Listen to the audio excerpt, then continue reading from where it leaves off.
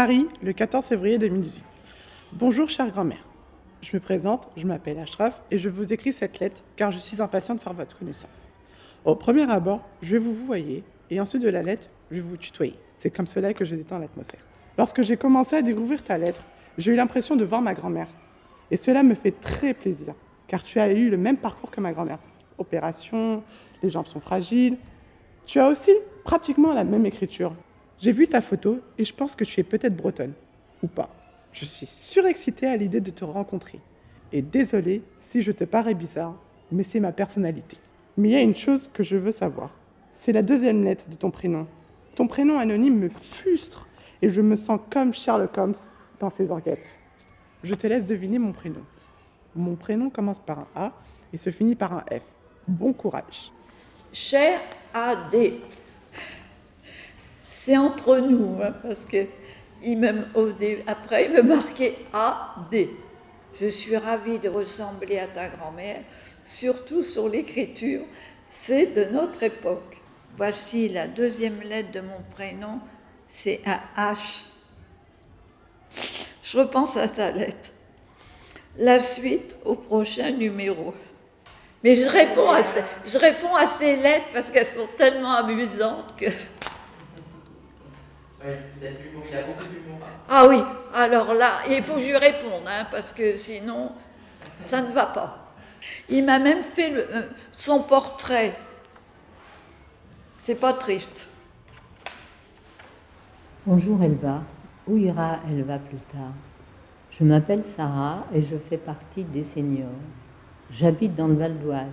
Mes passions, le hijin, l'écriture, le scrapbooking, les jeux de mots, le kimekomi, c'est un art japonais. Tu sais parler le wen Bravo. Sais-tu l'écrire Et le mandarin Si c'est le cas, peux-tu m'écrire un poème en chinois avec la traduction, bien sûr 我们我们不认识，但我们学着认识相方。你是月亮，我是小月亮。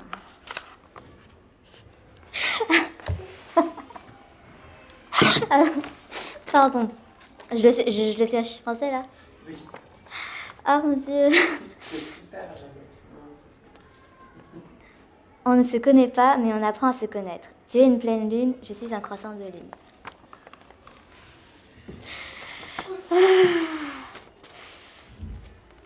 Voici une photo de moi. Je suis très complexée par ma taille, alors s'il te plaît, ne te moque pas. Je suis très petite. Est-ce que vous aviez des complexes à mon âge? Peux-tu m'envoyer une photo de toi quand tu étais jeune? J'ai vu ta photo, tu es ravissante. Ne sois pas complexée par ta taille, ce n'est pas le regard des autres qui est important, mais le tien. Tu as certainement des qualités que les autres n'ont pas, à commencer par le dessin, la curiosité, l'intelligence. Je crois que tout le monde a des complexes, quel que soit l'âge.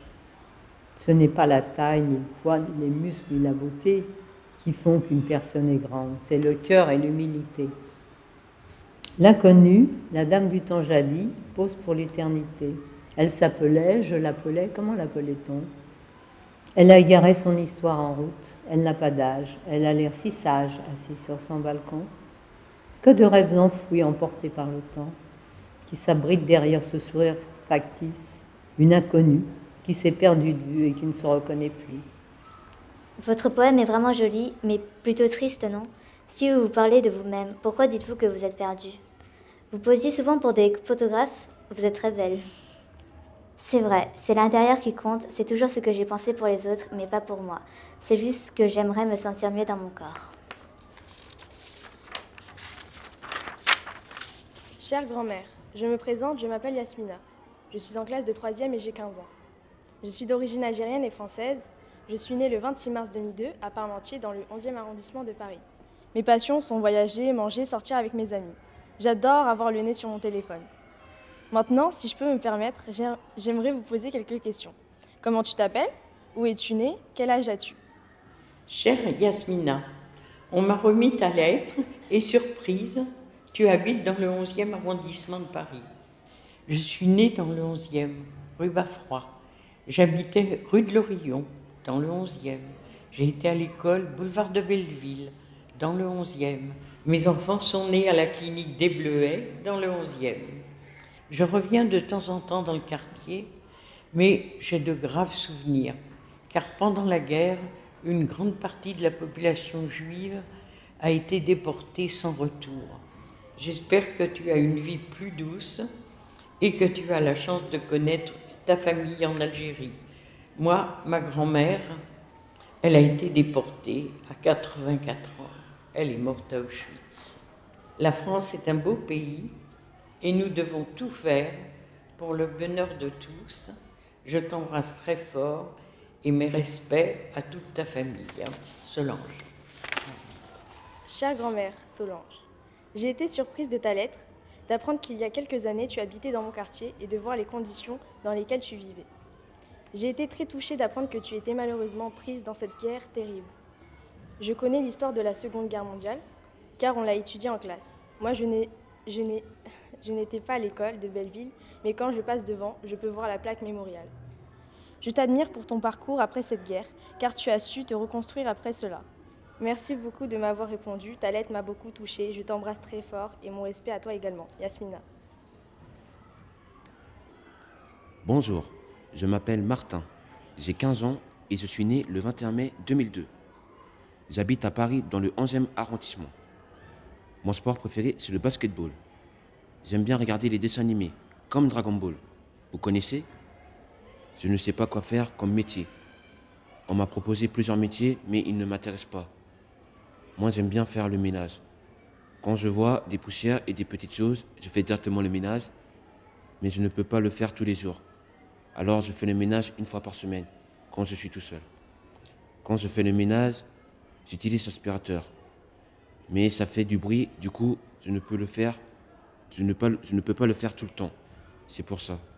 Ah oui, j'ai oublié. Je voulais savoir comment ça se passe à la maison de retraite. Je suis impatient de ta réponse. Martin. Bonjour, Martin. Je te félicite pour ta lettre bien présentée, bien écrite et sans faute d'orthographe. Je m'appelle Christine, je suis née le 16 janvier 35. C'est très bien tout ton ménage. Moi, c'est le contraire. Tu peux venir le faire chez moi si tu veux. Mais j'aimerais que tu t'intéresses à autre chose. C'est très difficile de vieillir. On m'a arraché mes dents, on m'a opéré les yeux et on marche difficilement, lentement. Surtout ne vieillis pas et profite de ta jeunesse. La vôtre devrait être plus agréable que la nôtre. Mes parents ne m'ont pas laissé sortir avant 20 ans. J'espère que tu me connaîtras mieux. J'ai répondu à beaucoup de questions. À bon bientôt et bonjour à tes parents de ma part. Christine. Tout? Parfait. puis si c'est pas parfait, c'est pas